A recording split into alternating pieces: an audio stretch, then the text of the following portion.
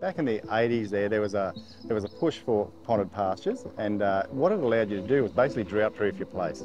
So exactly when you needed that feed in that dry time of the year, that dry brown time of the year, you've got this beautiful lush ponded pasture that you can fall back on. And uh, some of the local uh, graziers here uh, started developing it and, um, and obviously you're looking over the fence and the neighbours are saying, wow, look at that that used to be all water and you know wasteland, ducks and whatnot. And now I've got a paddock ponded pasture, and there's extensive areas of it in Queensland.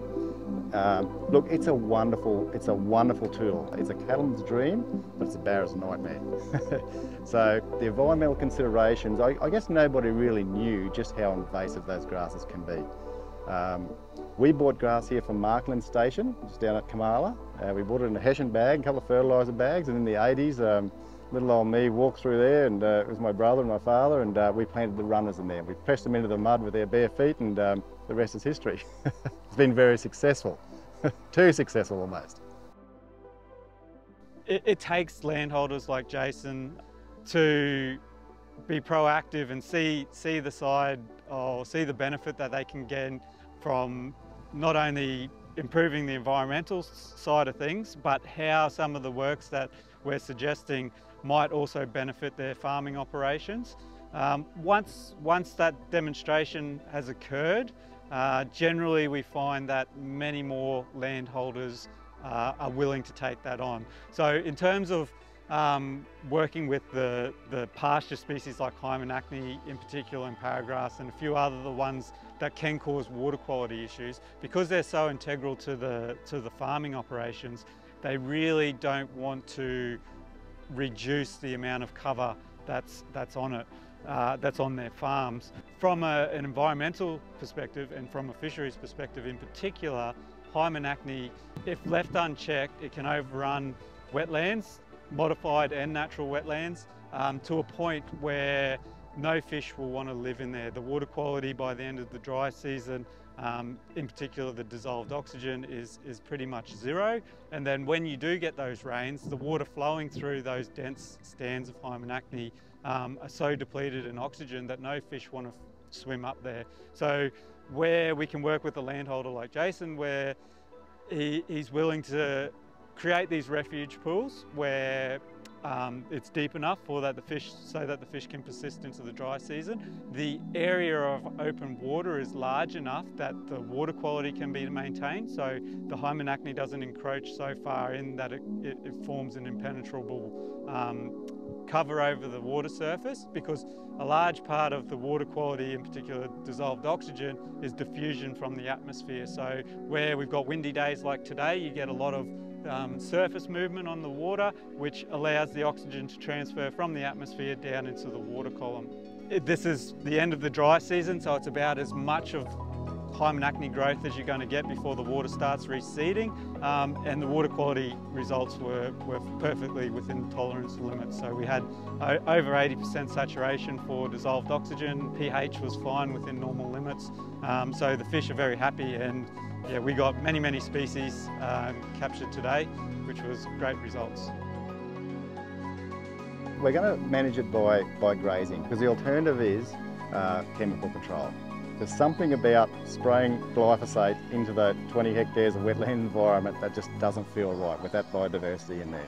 So I really wanted a win-win situation where I could keep that hymenachne because it's an important part of my business here, but keep it under control. The cattle will utilise that in the dry times and they, they will, exactly when you want it, and they will chew it down close to the ground.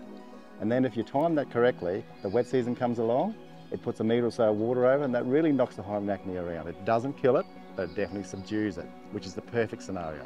So that's the balance we're trying to, to achieve. And the, the project actually gives me the ability to manipulate the water levels in that lagoon uh, to, to the point where coming towards the wet season if it's still too high because the cattle don't like to go out there and graze up to their belly in water, but they do love following the, the water in. So, so I can manipulate the water level. The fish are still happy. They've got their refuge pools and their channels and the cattle are following that hymenachne in, which is doing good things for my bank balance.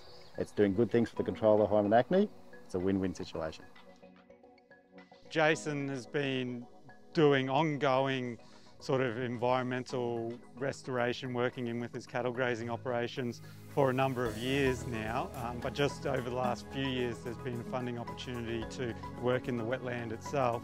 Uh, the, the bulk of the earthworks were done in the dry season of 2022 and that included digging larger refuge pools, um, connecting those refuge pools with a deeper channel and then levelling out some of the areas to improve the drainage during the dry season so you're not left with pockets of, of shallow water where um, the water quality can get quite bad and then when it rains again that poor water quality can enter the main wetland and cause issues for the other fish that are in there. Um, and then as part of those works we also did a, a fish ladder that was to improve connectivity between the estuary which is right next door and the freshwater ponded pastures.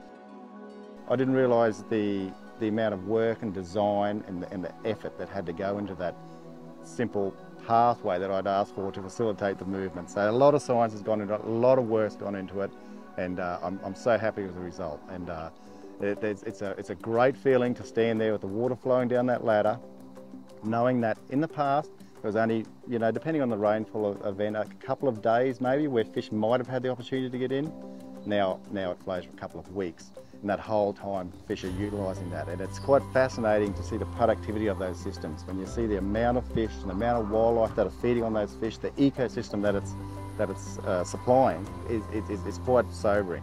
So, so my goal is to get those fish back out to allow them to complete their life cycle, like they should, like nature intends, and to get them back out into the marine environment for the enjoyment of everybody.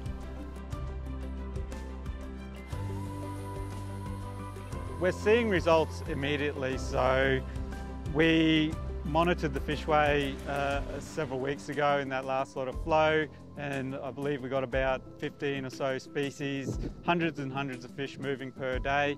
Um, today we got many of those same species uh, and they've grown significantly. So when they're moving up from the estuary, they might be between 30 and 50 mils long. Some of the fish that we got today were over 100 mils to 200 mils. So that, that's phenomenal growth rates. Excitingly, we, we caught juvenile barramundi, which we're, we're, always happy to get. We've got a lot of uh, tarpon too, which undertake a similar migration to barramundi. Other, what we call diadromous species, those that breed down in the estuary, move up in the freshwater lowland wetlands, include red scats and silver scats. Also caught a, a, giant herring, which is, which is quite impressive. They get quite large. Uh, an oceanic and move out to, uh, around the reefs even when they get larger. Of the 15 species recorded migrating through the fishway, 14 of them were native and one was invasive. That's a mosquito fish or gambusia, which is quite common throughout the east coast. There are quite a few of them in the wetland at the moment. Effectively, this wetland started from, from zero, no fish. So the only two opportunities fish have had to migrate in are two flow events this year. And the first fish to get in here and breed quite successfully are gambusia, but also from doing the electrofishing, we just caught literally thousands of eastern rainbow fish. So they're also the start of the food chain. Caught lots of bony bream also. The scats that moved in at 30, 40 millimetres are now 110, 120 millimetres. Same with the tarpon, they moved in at sort of 50 to 60 millimetres, they're now 140 mils. They go about 30 millimetres a year. I grew up in this creek system, so I, I knew them intimately.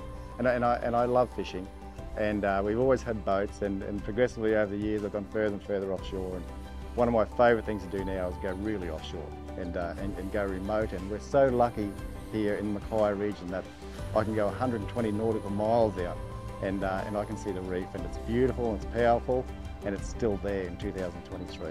So whatever I can do to facilitate with my little patch here, that link with that magnificent resource, I want to do it.